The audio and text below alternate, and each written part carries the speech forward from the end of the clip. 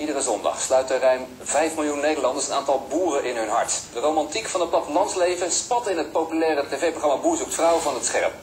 Maar diezelfde Nederlandse boeren voelen zich in eigen land steeds minder welkom. De strijd tegen de megastallen in ons land zien ze als een bedreiging van hun bestaan. Johan Eikelboom en Tim van der Brink doen verslag.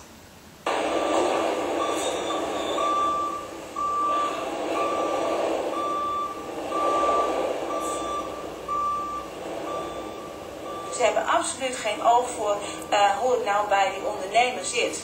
En wat voor keuzes een ondernemer moet maken. En hoe jij bezig bent om je bedrijf uh, te ontwikkelen. En hoe jij daar met ziel en zaligheid mee bezig bent. En dan gaan ze zomaar, pad, zetten ze een streep door. En dan is het weg toekomst en het einde oefening. Annegien ten Haven runt samen met haar man, broer, zoon en vader een grote varkenshouderij in het Groningse Beerta. Ze maken zich grote zorgen. Want de toekomst van het familiebedrijf staat op het spel. Maar hoe kan het nu dat u 4000 dieren heeft en het daarmee dan niet zal redden?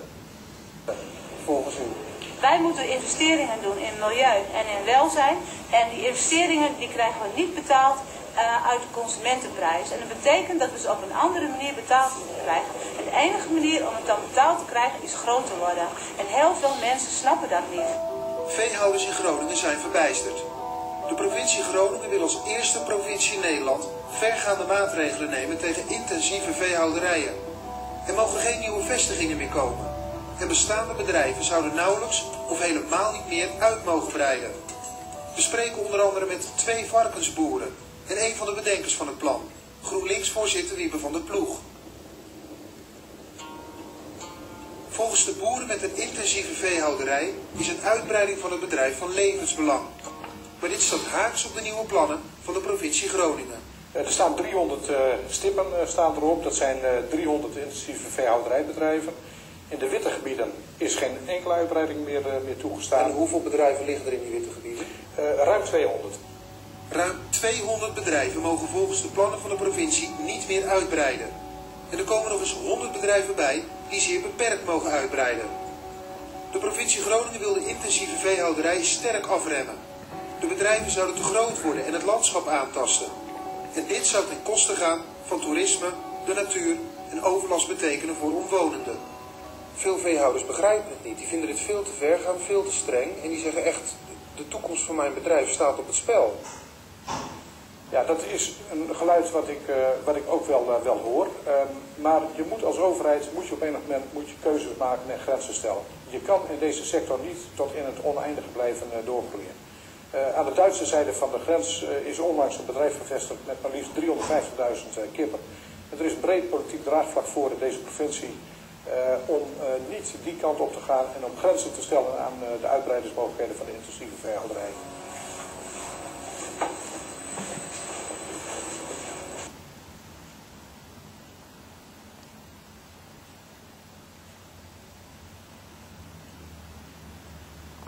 We hebben in totaal 58 afdelingen met varkens.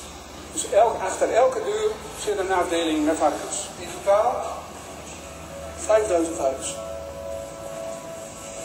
Hein in het Hout heeft een groot akkerbouwbedrijf en is al jarenlang varkensboer. Hij vindt de plannen van de provincie onbegrijpelijk. En dit is ons, ons bedrijf, zoals we nu gesitueerd hebben, volledig in windgebied. betekent dat er geen enkele mogelijkheid is meer om uit te breiden. En wij denken dat het voor niemand iets uit zou maken als wij eventueel in de toekomst nog een stukje bij deze varkensstal aan zouden bouwen. Maar dat kan dus niet waarschijnlijk. Dat kan waarschijnlijk niet meer, nee. Dus u bent echt net op tijd geweest met de nieuwe stal? Wij zijn met deze schuur zijn, zijn wij exact op tijd geweest van nou had, had men daar waarschijnlijk heel erg moeilijk over gedaan. Dat is uw nieuwe stal? Ja. En met de nieuwe plannen had u die stal niet mogen bouwen. Nee. Want het zou het landschap dus ja, vervuilen of de natuur of het toerisme in de weg staan, noem het allemaal maar op. Kunt u eens uitleggen wat de provincie volgens u bedoelt? Als u om u heen kijkt.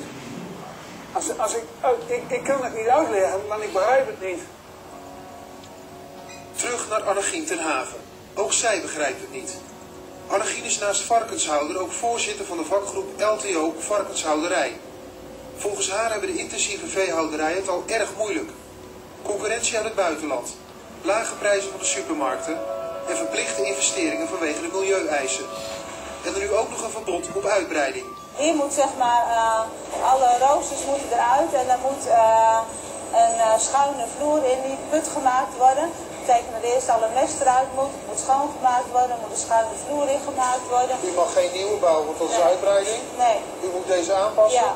En dat kost dan ook geld. ja, ja, ja. Dus, Lastig. ja, ja, U kijkt niet vrolijk. nee. Ik ben hier ook heel verdrietig van. Kan ik wel zeggen. Annegien krijgt vandaag bezoek van Wiebe van de Ploeg. Hij is voorzitter van GroenLinks in de provincie Groningen. Zijn partij is medebedenker van het plan om de uitbreiding van de veehouderijen tegen te gaan. Bedrijfseconomisch eh, kan ik me voorstellen dat je, dat je eh, in, denkt in de knel te zitten. En het is ook wel een, eh, een probleempunt. Maar wij zijn als provincie verantwoordelijk voor de, ruimtelijke ordening in, in deze provincie. En vanuit die invalshoek leg je bepaalde grenzen op. En dat is vanuit een maatschappelijk debat. Maar als u hier in de omgeving kijkt, hier, wat, wat is er op tegen als hier een uitbreiding plaatsvindt? Het is nou januari, het ziet er kaal uit, eh, maar er komen in de zomer hier ook veel mensen eh, fietsen, wandelaars, eh, langs de dijken en dan is het hier een, prachtig gebied. Ik, zag niet, ik zal, ik zal niet zeggen dat het overbevolkt is, maar we hebben wel ambitie als provincie Groningen met het toeristisch eh, profiel van deze, van deze provincie. Had u deze plannen van de provincie aanzien komen? Nee, absoluut niet. We waren juist met de overheid in gesprek over hoe we ons bedrijf konden ontwikkelen. Ja, dan dit. Ja, uit konden breiden. Dus dit is precies... Ja, tegen, ja 100 procent. Annegien legt haar bezwaren uit aan Van de Ploeg. Maar beide partijen lijken niet tot een oplossing te komen. Als de maatschappij even in brede zin zegt van wij stellen nu grenzen, dan kan ik me voorstellen dat je als ondernemer denkt van oh jee. Maar wij hebben wel de taak als volksvertegenwoordigers, dat hebben we in gemeenteraden en provinciale staten, om die grenzen te, te, te stellen. Want het is wel de druk van eh, ook kiezers die zeggen van wij hebben gewoon er genoeg van. Het moet anders. Wat vindt u ervan? Ehm GroenLinks zegt ja, eh, wij, hebben, andere- dood. wij hebben andere belangen. Nou ja, weet u dat nou? Maar dood. Lijkt Nou, ja, maar, maar weet je wat het is? Het is, het is wel zo dat, eh, dat, dat wil je je bedrijf kunnen moderniseren, wil je eh, zorgen dat het... Ik kan even ruzie maken. Wil je zorgen dat de dynamiek in de sector blijft, dan moet je kunnen investeren en dan moet je ook daaraan mee kunnen doen. En, De dynamiek gaat niet over meer dieren. De dynamiek gaat over betere kwaliteit. Ja. Een andere manier van vermarkten. Ja. Dat is de dynamiek. Het bezoek van GroenLinks-voorzitter van de ploeg maakt het onbegrip bij de varkenshouders uiteindelijk alleen maar groter. machteloos gevoel van ja, er wordt maar over je beslist. En men, ja, men gaat maar over je bedrijfsvoering en dat betekent gewoon dat je geen kant op kunt en je kunt er ni- niks aan doen. Dus je hebt een beetje een gevoel van help. Maar wij gaan direct tussendoor. Staat er geen stroom op? Nee. Wel. Terug naar varkenshouder Hein in het Hout. Volgens hem is er op de langere termijn maar één oplossing voor de intensieve veehouderij in Groningen. Als eh, de provincie en gemeentes met elkaar besluiten dat er geen ruimte blijft om te ontwikkelen, dan zullen wij tweede locaties gaan ontwikkelen in Duitsland, net over de grens.